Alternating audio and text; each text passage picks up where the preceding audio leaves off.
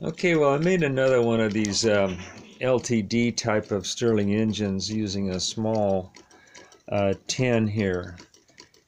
I'm not sure what was in it. I just wanted to try and see if it would work. And I went to a much bigger diaphragm uh, uh, drive unit. And then inside here, I'll show you what's inside it here. And I just used a uh, plastic lid for the flywheel and I, I, did this project to really look at this. And this does work much better when you use a larger diameter diaphragm uh, drive um, unit. And uh, this is just a bent paper clip going through a piece of plastic on this thing.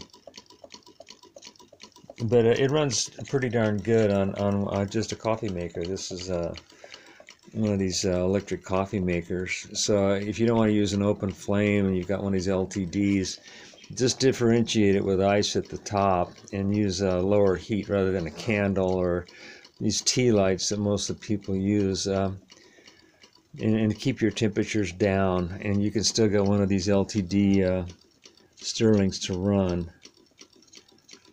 these kitchen countertops because that's what I'm doing. I'm working on my kitchen countertop here, making these little projects. And I've been doing a lot of studies on these uh, Stirling engines, and I do find them very, very interesting.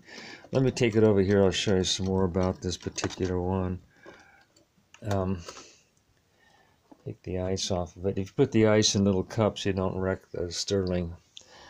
What what I've been working on here is what goes inside one of these things and what's the best and what's the simplest way to make one of these um, countertop um, Stirling engines. And different flywheels have a great bit of difference on whether you have success or not. And this was just a plastic lid off of a yogurt as I recall. And that's all you need for your flywheel. You notice there's no weights on it or anything the um, drive units are um, paper clips, but I bought these uh, bicycle spokes, and a lot of the guys are using these bicycle spokes because the they're straight, they're pretty smooth, they're easy to bend, and you can make your crankshaft better out of one of those bicycle spokes. Now, this was a big thing here. It's a latex glove stretched over a um, jar lid and then stuck onto the top of that with this two-sided uh, foam tape. This right here is from Myford Boy's idea where you use the tip of a mechanical pencil and you cut it off and you glue that on the top of the Stirling engine. That makes a really good bearing for a needle. And you use the needle through this, whatever you want to use for your displacer, crazy glue it, and then the needle is a real smooth shaft to run through that mechanical pencil.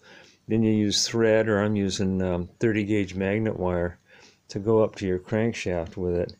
But anyway, that's just what I've been working on here is uh, a um, small kitchen countertop Stirling engine that you can build quickly and have success without weeks of working on it and I just taped the can together with electrical tape. You have to differentiate it with cold on the top or it doesn't run very long. But if you put this in the refrigerator before you start, it'll run for a while just on a cup of hot water. And uh, I found that out too. But that's what I've been up to. I've been working some more on this, uh, what they call LTD Stirling engines. Thanks for watching.